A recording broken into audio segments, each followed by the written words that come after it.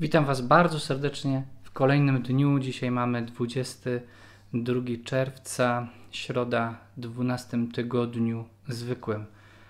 Rozważmy wspólnie fragment z Ewangelii, Ewangelia Mateusza 7, wersety od 15 do 20. W lekcjonarzu nosi ona tytuł Fałszywi prorocy. W imię Ojca i Syna i Ducha Świętego. Amen. Jezus powiedział do swoich uczniów: Strzeżcie się fałszywych proroków, którzy przychodzą do was w owczej skórze, a wewnątrz są drapieżnymi wilkami. Poznacie ich po ich owocach. Czy wybiera się winogrona z ciernia albo z ostu figi? Tak dobre drzewo, każde dobre drzewo, wydaje dobre owoce, a złe drzewo wydaje złe owoce. Nie może dobre drzewo wydać złych owoców, ani złe drzewo wydać dobrych owoców. Każde drzewo, które nie wydaje dobrego owocu, zostaje wycięte i wrzucone w ogień, a więc poznacie ich po ich owocach. Oto słowo Pańskie. Jezu, który w tym dzisiejszym nauczaniu ostrzegasz swoich uczniów przed fałszerstwem, przed oszustwem. Bądź uwielbiony, Jezu. Mówisz, jakimi technikami posługują się fałszywi prorocy. Przeoblekają się w owczą skórę, a wewnątrz są e, pełni e, drapieżna, są po prostu drapieżnymi wilkami. Bądź uwielbiony, Jezu. W kluczowym zdaniu, które wybrzmiewa e, dwa razy dzisiaj w tej Ewangelii, poznacie ich po ich owocach. Dajesz nam kryterium rozeznawania, Panie. I w tym kryterium bądź uwielbiony Jezu. W porównaniu do natury, czy zbiera się winogrona z ciernia albo z ostu figi, bądź uwielbiony Jezu.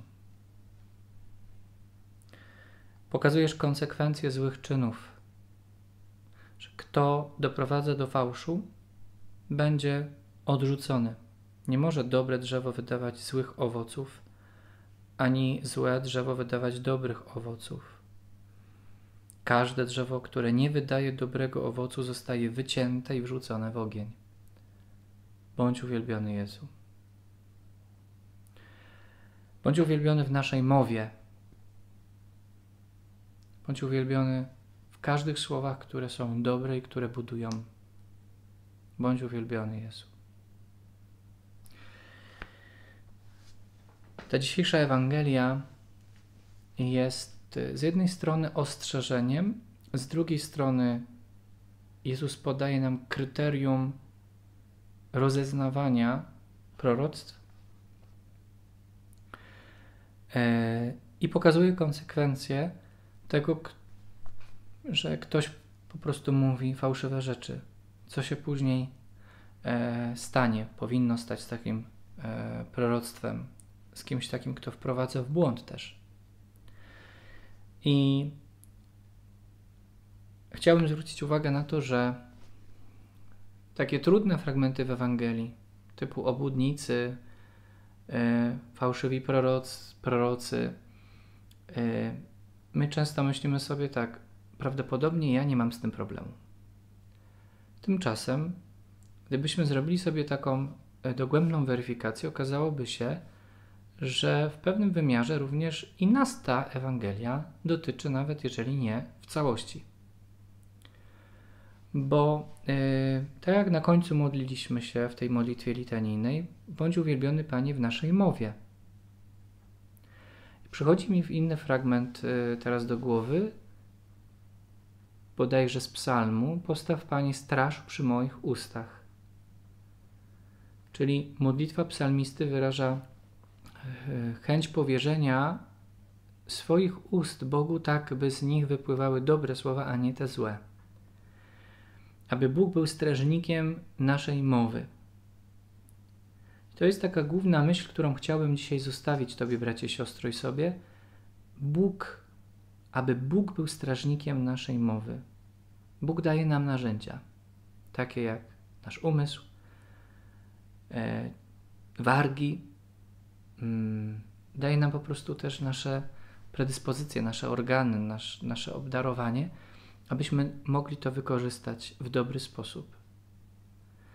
I od naszej decyzji, od naszego rozporządzenia tymi dobrami zależy, jaka będzie na przykład szła narracja z naszych ust, e, w jakim kierunku będą podążać nasze kroki za głosem naszego serca, ale jakie to serce jest, czym jest ono nasiąknięte. I e, no właśnie, poznają nas po owocach. I tutaj mamy taką e, dwie strony medalu, chciałby się powiedzieć.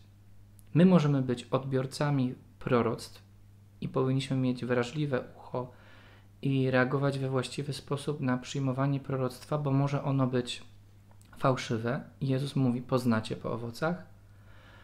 Ale z drugiej strony medalu, my możemy być w posłudze prorockiej i ktoś nas może osądzić, i powinniśmy yy, mierzyć się z tym, brać pod uwagę to, że również nas mogą osądzić yy, po owocach.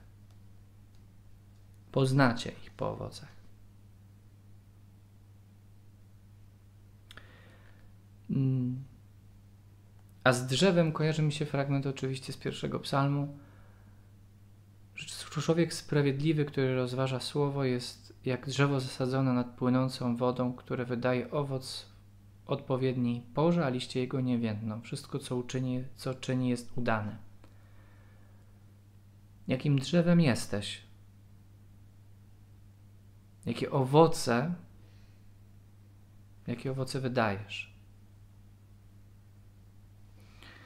Piękne są te porównania do natury, szczególnie teraz, kiedy e, przyroda, można powiedzieć, jest w całkowitym rozkwicie, rozpoczynamy lato.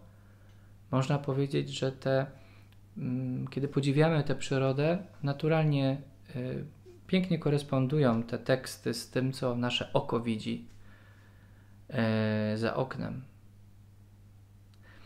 E, reasumując, Każdy z nas jest drzewem, które przynosi owoc. I musisz liczyć się z tym, że w obowiązku jest twoje, Twoim też umiejętność rozeznawania czyjegoś przesłania. A z drugiej strony to również Ty wydajesz owoc przez swoje czyny, mowę i możesz być też e, poznany po owocach. A Bóg jest tym, który może w właściwy sposób za pomocą swojej łaski nasze usta, nasze czyny, nasze gesty uformować, jeżeli się temu poddamy. Postaw, Panie, straż przy moich ustach. I o to się dzisiaj pomódlmy. Duchu Święty, dziękuję Ci e, za darmowy, dzięki Ci za nasze czyny, które podkreślają też to, co mu mamy na ustach, co mówimy.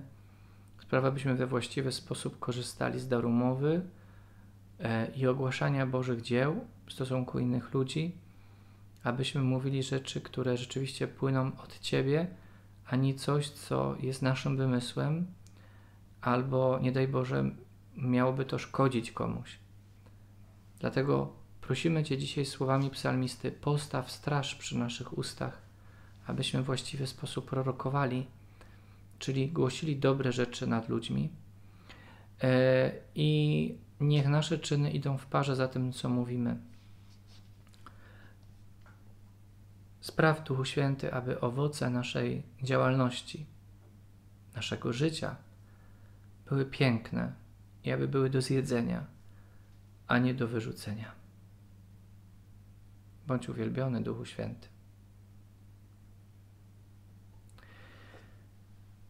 Poznacie ich po owocach. To jest słowo, które dzisiaj e, zostawiam nam wszystkim. E, no i życzę pięknego, błogosławionego dnia. Może dzisiaj Twój dzień przyniesie piękny owoc. Amen.